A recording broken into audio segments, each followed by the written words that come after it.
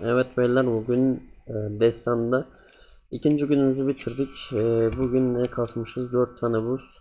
Bugün buzdan yani hiç şansımız gülmedi. Ne yazık hep e, yan şey, şeylerden çok fazla attı.